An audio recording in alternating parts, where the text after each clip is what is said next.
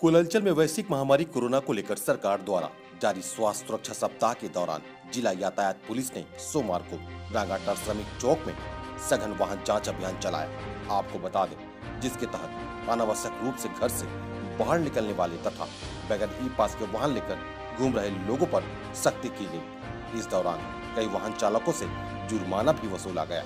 मौके पर जिला यातायात traffic inspector R P Verma ने कहा कि सरकार द्वारा निर्देशित स्वास्थ्य सुरक्षा सप्ताह और वरीय अधिकारियों के निर्देश पर शहर में कड़ाई से वाहन जाँच अभियान चलाया जा रहा है।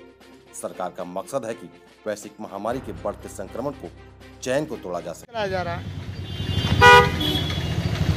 आपका पास चलान का चल रहा है। बिना मास्क का या हेलमेट का। और बड़े पदाधिकारी के आदेशानुसार ये चलाया जा रहा है। लोग कोरोना काल में ज़्यादा से ज़्यादा लोग नहीं निकले। उसको लगाम लगाने के लिए सरकार कदम उठाई है।